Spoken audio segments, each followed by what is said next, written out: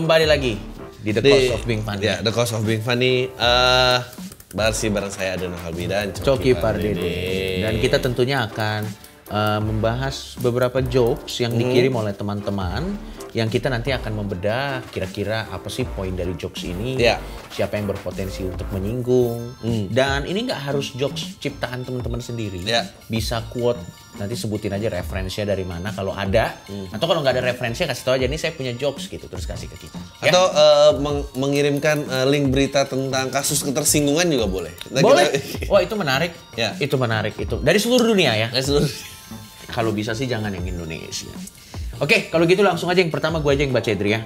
Ini dari nggak ada nih, ini langsung aja nih. Dari ini ada percakapan antara ayah dan anak. Ayah, nah, nak kalau ujianmu jelek lagi, jangan sekali-sekali panggil ayah.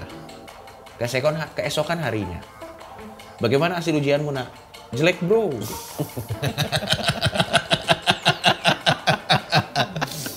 kalau menurut lo ini jokesnya Ya, lucu ini Lucu, lucu, lucu, lucu, jokesnya ini lucu ya korbannya pasti ayahnya. korbannya Ya, ayahnya Anaknya. Ah, ah. eh korbannya ayahnya Ya anaknya juga pasti kan abis ini ayahnya bereaksi. Iya, Ini iya, tuh iya. menurut gua era-era eh bapak masih banyak mukul anaknya. ya maksudnya gua nggak tahu ya di orang tua sekarang kayak nilai ujian anak udah nggak penting kayak dulu deh. benar-benar karena sekarang tuh orang tua tuh udah mulai punya pemahaman ada otak kiri ada otak kanan ada Iya, atau ada mulai nggak percaya institusi pendidikan di sini. Gitu. setelah keluar setelah keluar sebuah studi yang mengatakan eh, berapa puluh persen guru dari negeri itu radikal Lu udah baca belum studinya? Belum. Ada studinya men, nanti lu cari aja. Ada berapa puluh Ya persen? ampun. Sumpah gua nggak bohong. Ada berapa puluh persen uh, guru dari sekolah negeri itu cenderung radikal. Kalau gitu sih ya. Ini ini ini ini jok-joknya era orba eh, Betul. nilai pendidikan masih penting. Betul. Eh, Oh berarti kalau gitu, disiplin anak masih mukul. berarti mungkin. ini yang tersinggung berarti ini berarti yang tersinggung adalah uh, SJW SJW pendidikan. Iya, SJW pendidikan tersinggung. Yang bilang yang contoh dong Finlandia. Gitu-gitu Nggak kan. ada ujian, ada iya. ujian. Tapi mereka ada ujian kok. Gue Ada, pernah ada, ada. uh, lihat wawancara sama duta besar Finlandianya. Nggak, tapi ini, ini, ini teori gua. Menurut gua pendidikan kita jadi susah itu karena menurut gua kurikulum kita tuh kurikulum-kurikulum eh, waktu itu perang dingin. Jadi ceritanya Mm-hmm. abis perang dunia kelar, nah perang dingin kan Amerika dan Rusia itu berlomba-lomba lah Ya. mendarat di bulan. Heeh. Nah abis itu terus eh, menginspirasi banyak eh, orang-orang yang pengen jadi ilmuwan kan. Oke. Maksudnya i- that's the only period in life in human life semua orang pengen jadi ilmuwan karena dibikin itu. Sama kayak uh, YouTube ada AdSense semua orang pengen, Pengen jadi jadi kreatif. Iya. Ya, ya, betul, betul, betul. Eh, nah karena itu pelajaran ujian tuh jadi penting. Dan akhirnya semuanya basisnya kayak gua ngerti sih ke yang yang yang ilmu pengetahuan ilmu pengetahuan kan gitu kan. Gue inget kok gue SMP eh, dikumpulin di aula gitu, pakai video nyetel tentang eh, menghitung eh, ilmu fisikanya biar mendarat di bulan. Waduh. Anak SMP. Iya, gue kayak menggunakan gravitasi pergi ntar di sini ngelepas, ntar dia ngikutin gravitasinya lagi untuk ini ngelangkut dan nyangkut dan dan balik lagi gini-gini. Maksudnya Anjir main SMP men. menurut gua ya, ini nggak akan kepake sih gitu. Iya, itu CIA FBI nya belum tentu tahu men. Dan dan anak SMP harus tahu? Ya ya udah maksudnya kayak Wah ini sih, ya makanya ilmu-ilmu zaman itu jadi kayak jadi ras unggulan manusia tuh gimana Da- gitu. iya, sejauh- pantesan angkatan-angkatan gue juga ngerasain sih. Kayak cita-cita mau jadi apa? Presiden ilmuwan, Iya. presiden saintis, insinyur. Iya. Yang gitu-gitu, yang basis. Sekarang anak-anak sekarang. nggak ada sekarang tuh kayak demi kebahagiaannya Iya. passionnya apa ya dulu nggak jadi apa-apa juga menurut gua menurut gua presentasi keberhasilan tetap sama loh Tetap sama, sama. Tetap sama, Gue juga gue yakin. Kalau an- anak-anak sekarang tuh di encourage untuk mencari apa yang dia inginkan dan menjadi yang terbaik dari yang dia Iya. inginkan. Encourage-nya gitu. kalau dulu tuh kayak lo berhasil tapi lo belum tentu eh, suka bidang yang lo jalanin sekarang eh, ya berarti konsekuensinya ya lo nggak berhasil di bidang yang nggak lo jalanin tapi sekarang juga banyak orang yang nggak berhasil meskipun di bidang yang dia Iya, jadi itu Kayak bukan jadi- sesuatu yang baru anyway kok, Iya, iya. apa pun zamannya. Oke, next silakan Dri. Ah, ya. wah ini anjingan Eh, di coba tebak orang apa yang kakinya empat? Orang lumpuh kak? Salah. Orang aneh? Salah. Orang apa sih emangnya? Orang bilang sih kuda, anjing dan lain. Iya, ini ini tuh ledek-ledekan adik kakak gitu. ya. Udah gitu nih ada ada ini lagi ada ada ada eh, respon adiknya. Iya. Ye.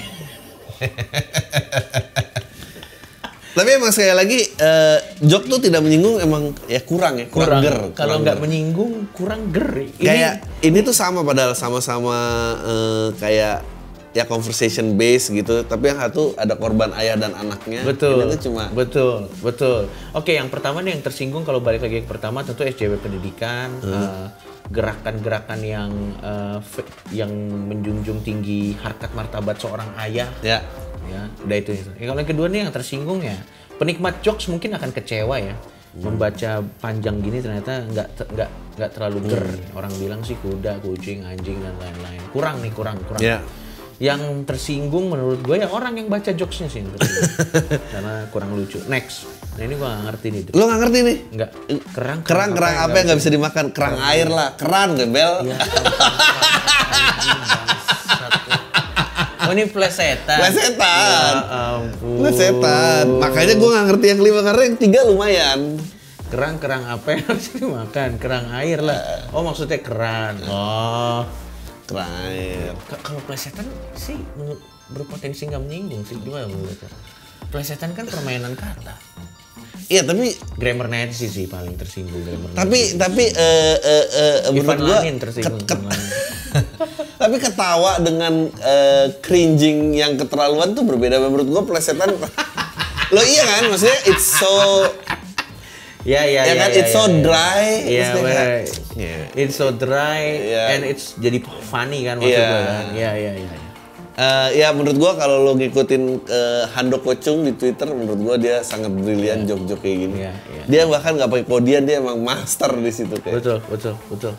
Ya. Iya, yang tersinggung makanya- nggak dari sini? ya nggak ada Grammar. Nazi grammar Nazi Kapan bahasa Indonesia mau dicintai kalau dijadiin plesetan terus gitu biasanya. kerang kerang apa ya saya kerang air Oke lah. Yang keempat silakan Dri. Ini actually smart sih. Penyanyi dangdut adalah makhluk yang unik, keren. Dia hari ini juga di Disco Pantera juga publish job ini. Dia bisa hidup dengan organ tunggal. Iya. Ini udah jelas yang tersinggung yang ginjalnya satu. yang harus cuci darah lo tau nggak? Enggak. Saya harus Bener ya? darah. Begitu berkaitan dengan nyawa manusia, otomatis langsung Bener, otomatis pasti langsung lucu. Ini Iya. kan sebenarnya permainan kata organ kan. Iya. Organ ini kan adalah alat musik, tapi ada juga organ yang lain gitu, play gitu. Ini brilliant, brilliant jokes. Yang bisa tersinggung ya iya. orang-orang yang kena penyakit terminal. coba bawain job ini di rumah sakit kanker. Betul, organ organ organ, organ tunggal. Diusir susternya lu pasti lu. Next. Ini gua nggak ngerti. Coba lu. Sama gue juga. Pohon pisang kalau dikagetin, copot nggak jantungnya? Cuma nanya nih, apa sih ini fuck lah. Coba, pohon pisang kalau dikagetin copot nggak jantungnya? Ini kan mesti responsnya iya dan enggak dong. Iya. Enggak ini cuma nanya, oh enggak ini maksudnya gini, gua ngerti nih. Pohon pisang kalau dikagetin copot nggak, copot nggak jantungnya? Harusnya di sini udah ketawa. Cuma nanya nih, gitu dia yang ngomong. Ini satu kata-kata gitu. Fuck lah ini enggak lu. Enggak, gua gua tuh penasaran ini joke supposed to work kayak gimana sih pohon pisang kalau dikagetin cop. Pohon pisang kan ada jantungnya nih. Ah, kalau dikagetin copot nggak jantungnya? Gua tuh tadi mikirnya gini, apa karena nanyanya apa? kenceng-kenceng? Enggak cuma nanya kok biasa jadi. Pohon pisang harus teriak-teriak gitu loh. Kalau itu lucu. Kalau itu lucu karena itu pohon pisang kalau dikagetin copot nggak jantungnya? Ah itu tapi itu Terus dia Oh, apa sih ngagetin gue orang cuma nanya gitu kali ya? Enggak, enggak, jelas nih. Mohon maaf, saya tidak menemukan jokesnya apa ini. Cuma nggak jelas, Dri, ini anjing lah. Iya. Wah, pohon pisang kalau dikagetin copot nggak jantungnya? Cuma Emang joke gak lucu tuh semakin sering dibaca semakin kesel gue. ya. Apa sih maknanya gitu?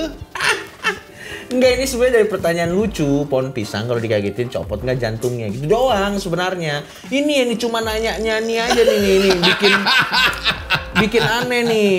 Hey, ya udahlah. Oke. Eh, masih ditunggu ya eh, email-email eh, ininya.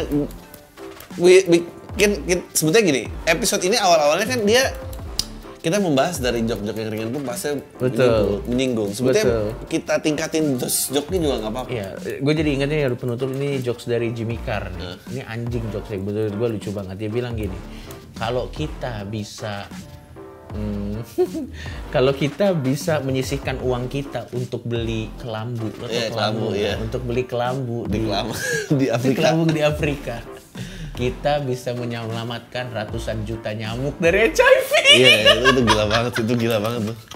Orang orang biar